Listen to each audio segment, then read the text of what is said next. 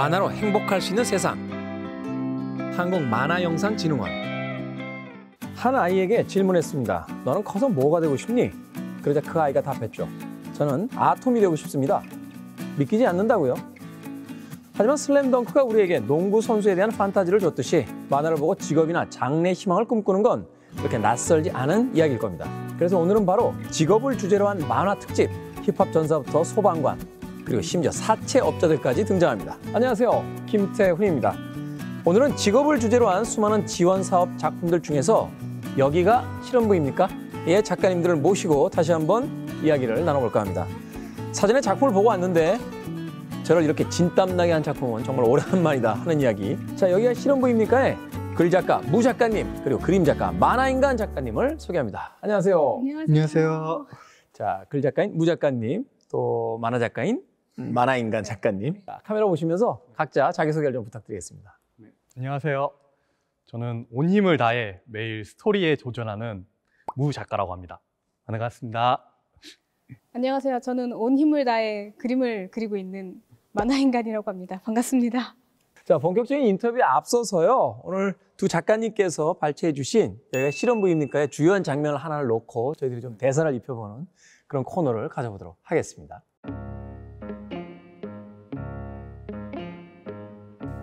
씨름이라 취미라도 다시 해볼까? 아 제명 당했는데 취미는 무슨 학원이나 가자. 야! 그래, 임마 너. 이좀 와봐. 촉진력부터 왜? CX야. 내가 X로 보이냐? 야, 한 명 더 데려왔다. 퍽. 가방 까! X기야. 이거 뭐야. 팔랑. 역시 내 촉은 정확하다니까. 아, 안 돼! 내 급식비!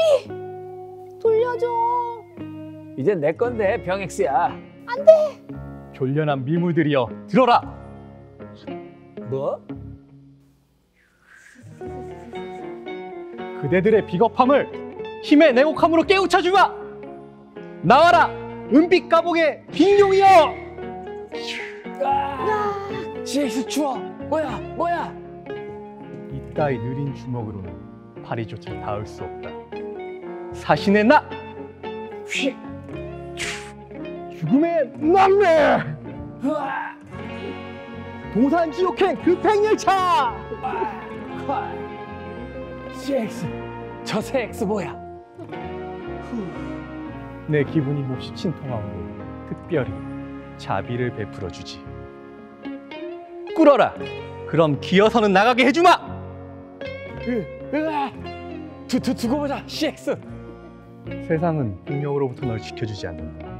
스스로 강해져라. 그 기술들은 대체 무술이라도 배운 거니? 무술이라. 닌겐들은 보통 이렇게 부르지. 시릅. 어. 저는 이렇게 대사가 많은 줄 알았으면 안 하는 걸 그랬어요. 네. 1인 다역 캐릭터를 연기시켰는데 예. 대사보다는 네, X가 더 많이 들어간 그런 대사가 아니었다는 생각이 듭니다. 씨름부라는 소재가 눈에 띕니다. 씨름이라고 하면 이제 민속 전통 놀이다, 뭐 민속의 전통 스포츠다 하는 이야기를 합니다만 지금의 젊은 세대와는 좀 동떨어져 있는 어떤 문화처럼 우리가 느끼게 되거든요. 저는 보신 그대로 씨름이 정말 재밌는데 사람들이 너무 잘 모르더라고요. 음. 그래가지고 이 씨름을 알리고자 하는 만화였고요. 뭐 간략하게 소개를 드리면은 그 이제 씨름을 그만둔 이제 삿바 마왕이 씨름판에 이제 복귀를 하면서 이제 펼쳐지는 이야기인데요. 그렇다고 이제 열혈 청춘 스포츠 막 이런 쪽이 아니라 먼치킨 병맛 개그 만화 우리라고 보시면 되고요. 이 아이들 처음 들으셨을 때 어, 떤 기분이셨어요? 어 이거 재밌겠는데 하는 느낌 바로 오셨습니까? 네, 이건 정말 병맛이구나. 네. 좀, 좀 처음에 들었을 땐 당황을 했는데 되게 매력적인 소재라고 생각을 했어요. 보통 씨름을 하면은 좀 덩치 크고 좀, 좀 둔해 보이는 그런 캐릭터들을 상상을 하셨, 하신, 하시는데 그렇죠. 네, 보통 꽃미남이 나와서 이렇게 좀 씨름을, 좋고 네, 막. 씨름을 한다는 얘기를 들었을 때 그것도 병맛이고 학생들이잖아요. 처음에 딱 들었을 때, 오, 재밌겠는데? 재밌겠다라는 이제 생각이 들면서 네. 씨름의 어떤 소재를 가졌다 이제 병맛으로서 버무린 말하자면 이제 이종의 어떤 장르가 섞여 들어간 네. 그런 그 장르로서 이제 생각을 하셨다라고 네. 이야기를 하셨습니다. 자 그런데 이렇게 특이한 소재이기 때문에 준비 과정이 좀 길었을 것 같아요. 왜냐하면 씨름이라는 것이 앞서 이야기한 것처럼 우리가 일반적인 어떤 그 호기심이라든지 또는 상식을 부여하는 그런 아, 종목이 아니기 때문에 네.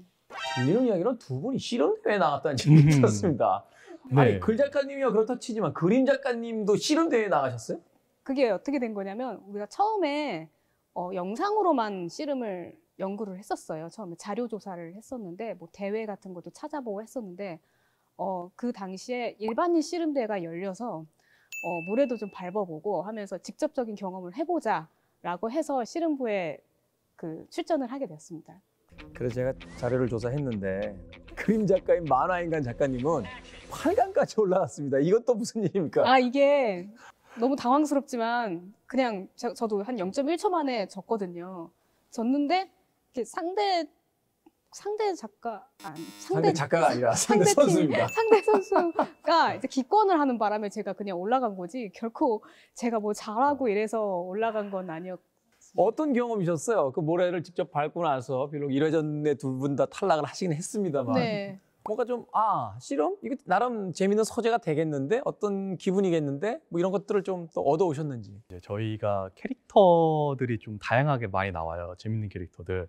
근데 씨름하면서 이제 보면서 어, 저 사람은 우리 만화에 써도 되겠다. 사실 이제 그냥 영상으로만 보는 것보다는 현장에 가서 직접 네. 부딪히면서 또 그 날것 그대로의 실제 캐릭터들을 현장에서 보시니까 이 작품 속에 등장하는 캐릭터들을 좀 네. 잡는데 좀 더 많은 도움이 됐다. 네, 그리고 또 어떤 느낌으로서도 좀 더 생생하게 이제 표현할 수 있게 됐다. 예. 그렇습니다. 라고 이야기를 해주셨습니다. 두 분에서 가장 그 애정하시는 캐릭터는 누굽니까? 왜냐면 제가 이제 보다 보니까 이제 처음에 등장하는 캐릭터 이름이 하필이라고 네. 있는데 네.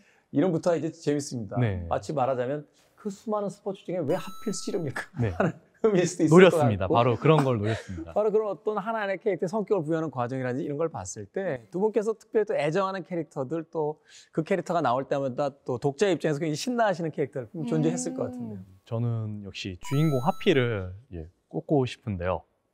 하필이 이제 어떻게 보면은 자기의 꿈을 포기하고 살다가 이제 계기를 통해서 다시 씨름할래 하면서 이렇게 막 씨름판으로 돌아가는 그런 캐릭터인데요. 그 과정이 참 범상치 않고 그리고 하다 하면서 이 친구의 특징은 그 틀에 갇히지 않고 되게 자유로워요. 같은 기술을 쓰더라도 느낌이 다르고 이름이 다르고 그때 그때마다 이제 응용력이 되게 좋아서 아, 이 작품 안에서 가장 변화가 있고 또 성장의 과정에 있는 어떤 캐릭터이기 때문에 하필이라는 캐릭터를 그래서 가장 애정하신다라고 이야기해 네. 주신 것 같고 그림 작가님은 또 조금 다른 측면이 있을 것 같아요. 말하자면 이제 이미지적으로 표현하는 데 있어서 이야기가 아닌 이미지적인 표현에 있어 또 이런 캐릭터는 굉장히 인상적이었다. 어, 재밌었다. 저도 하필을 되게 애정하긴 하지만 사이다라는 캐릭터가 있어요. 네. 약간 비인기 아이돌인데 돌봐줘야 될 것 같고 얘 좀 왜 이렇게 인기 없고 하찮지? 뭐 이- 이런 캐릭터라서 약간 이야기를 하시면서 우리 그 만화인간 작가님은 글 작가님을 이렇게 쳐다보면서 어, 이 아이를 봤을 때 처음 그런 느낌이었습니다. 막 약간 그런 건 아닌 거죠?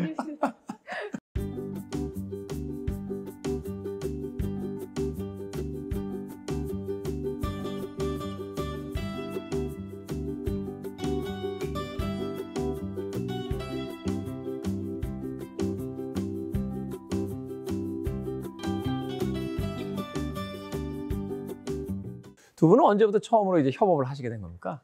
저희는 이제 대학교 때부터 선후배 관계였어요. 아 선후배? 네. 어떤 분이 선배? 제가 선배. 아, 선배님. 네, 그래서 네. 제가 많이 부려먹는 그런 주종 관계 비슷한 그런 거였는데 이번에 여기가 씨름부입니까 아이디어를 처음에 저한테 얘기해줬을 때 어, 되게 재밌다. 이번에 같이 해보자 라고 해서 이 작품을 시작하게 되었습니다.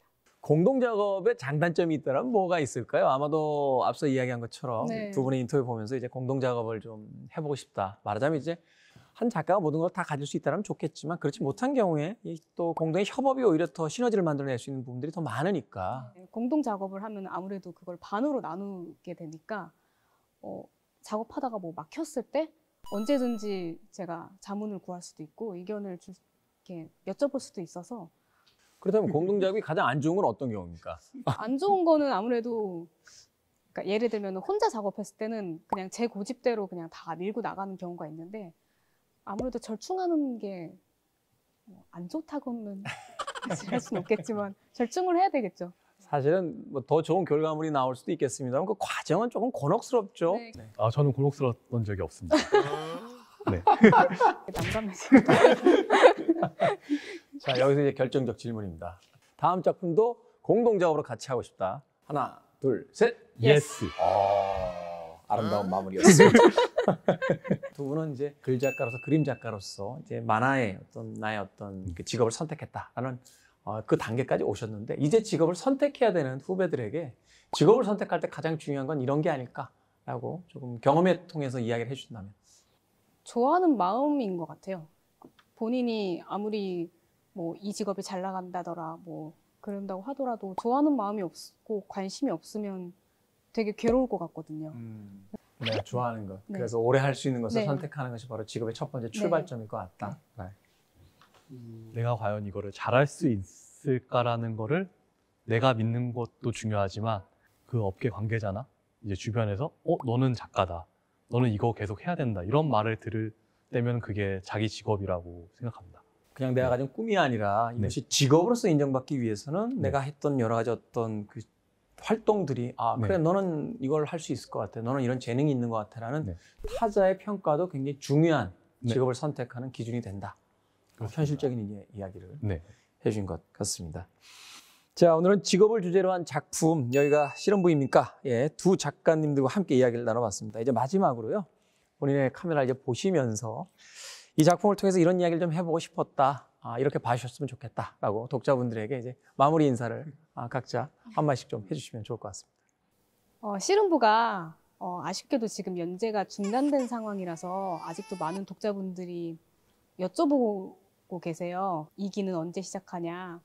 그런 거 많이 여쭤보시는데 아쉽지만 당장 언제 꼭 하겠다라는 말씀은 지금은 당장 드리기는 힘들지만 어, 언제든지 가능성은 열려 있고 그렇게 되도록 저희가 많이 노력을 하- 하겠습니다. 그리고 그 전에 또 차기작으로 또 재밌는 이야기 많이 들려드릴 테니까요. 많이 기대해 주시고 어, 감사합니다. 건강하세요.